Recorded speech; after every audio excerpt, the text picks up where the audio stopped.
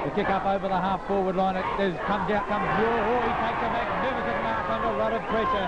He's been a great player for the Bays, uh, for Central Districts all day. A very elusive and cool customer, this one. Vidovic leading back in towards goal. There's Muir now, lines them up. His kick is underway. It's a magnificent torpedo punt. Torpedo punt. It's going high. He's got it, I think. Oh, what a great kick from this boy.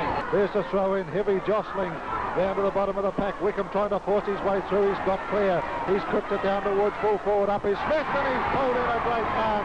Smith has marked 50 yards from the central goal. The angle is 45 degrees. On the mark is Corns. Smith going back, taking plenty of time.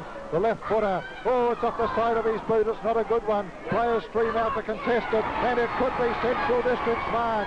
I think yes, and Centrals have taken the mark right in the teeth of goal. And here's a chance now for Central Districts to post a goal as Jackson goes back with the ball, no more than 15 yards out, directly in front.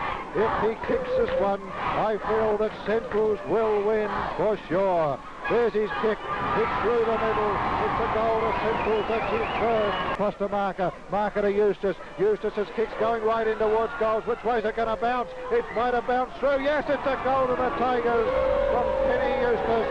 And the Tigers now have their seventh goal. Central Districts now with the ball at centre half forward, looking at the full face of the goal. He's 70, about good 60, 70 yards out, goes for distance. Players stream out, Vidovic from behind, up is Muir, but a mark taken there.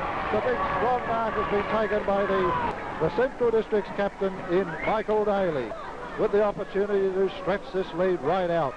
There's Daly's kick, goal umpire hardly moved, down now to Dixon. Dixon's left footer going down towards Mulholland. Also coming out of Vidovic. He's got it. He's got too much pace for Shepherd. Now let's see what the boy can do. Normally the immaculate drop punt for goal. He's 40 yards out. He's looking at the full face. On the mark is Shepherd with the ball. Vidovic. South Australia's leading goal kicker lines them up. There's a familiar drop punt. It's, I think he's Now it's through. It must have just got through. The Bulldogs fans are delirious with excitement. It is back there with Shorthill. Right. There's the goal. Absolutely screaming. They're going to mob the ground.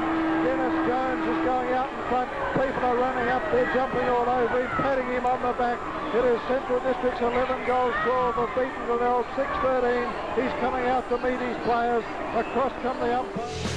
So you saw there that scoreboard, 29 points, the final margin. Interesting note, Grant, though, that Ken Eustice playing for the Bays that afternoon. It was the first time he'd played for Glenelg against Centrals, having coached the Centrals through their first four seasons in the SANFL. Didn't get a win over Glenelg, but as soon as he joined Glenelg, the, the Bays were able to lose one to Centrals.